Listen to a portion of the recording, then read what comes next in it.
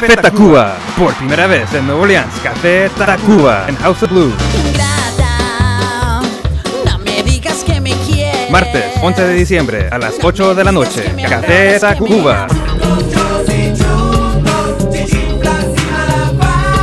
Boletos en House of Blues, 225 Decatur Street, 310-4999 para más info o hov.com.